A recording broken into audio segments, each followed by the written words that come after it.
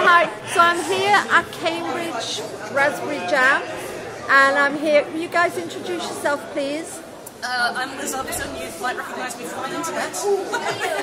Uh, I'm Eben. I do Raspberry Pi things. I'm Liam and I create Raspberry Pi tutorials and do some work with these guys as well.